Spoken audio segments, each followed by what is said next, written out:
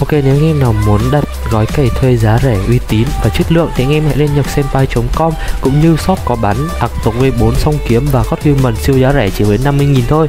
Vì vậy anh em hãy lên shop nhập senpai.com shop bán ạc Rolex uy tín số 1 Việt Nam. Ok, về Lost xin chào mọi người, chào mừng các trở lại với kênh channel của mình. Thì hôm nay mình sẽ share cho các bạn mà strip, strip của thời game Kill Legacy nhé Thì uh, trước khi vào clip đừng quên để lại cho mình một like và share nhấn nút chuông để nhận được uh, thông báo từ clip của kênh mình ha.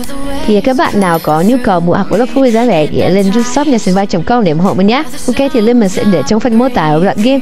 Thì đầu tiên mình sẽ review một vài tính năng chính của strip. Thì strip này sẽ có phần uh, là auto level.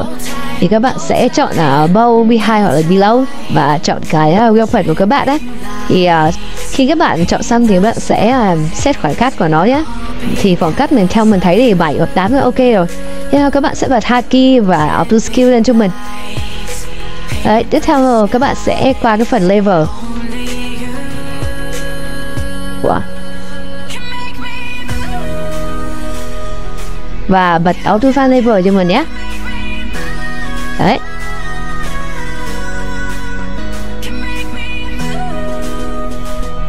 Tiếp theo thì có item ở đây?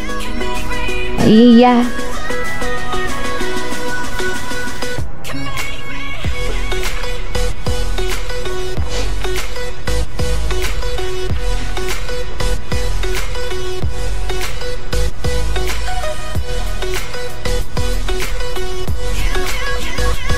thì à, về item thì nó có auto sea monster này auto gossip này. Đấy rồi ở ở iPhone item 2 ấy thì có auto kaido này rồi uh, auto farm lucidus này.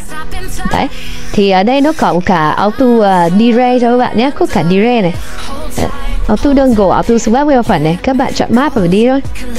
Biết gì nó có auto nhạc chắc quỷ ấy. các bạn ấn vào nó nhạc right nó có nhạc trái bom như mình này.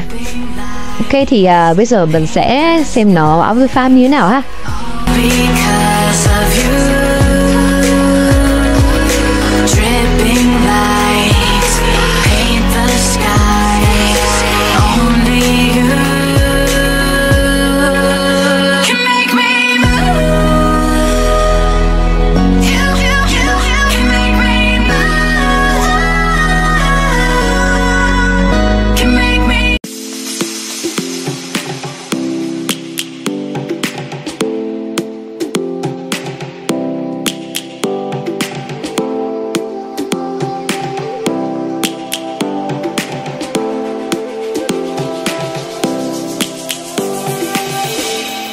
Winds roaring in the morning sun Searching for a longer day